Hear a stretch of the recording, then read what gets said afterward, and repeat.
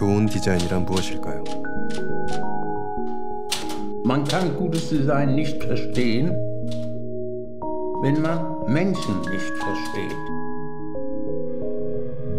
디터람스의 디자인은 새로운 역사를 만들었다.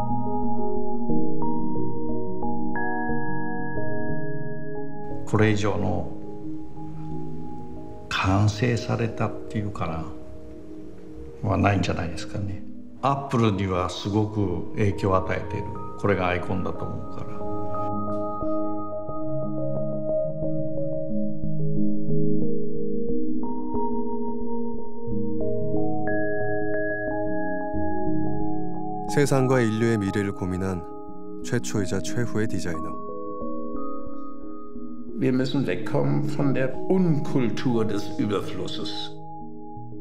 Nicht nur eine Designauffassung weniger, besser auch eine Verhaltungsauffassung.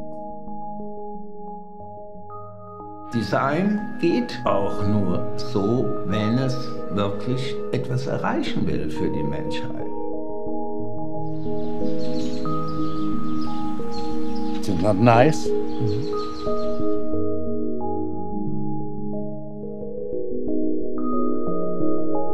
디터람스. 그가 인류에게 남기는 메시지. Less but better.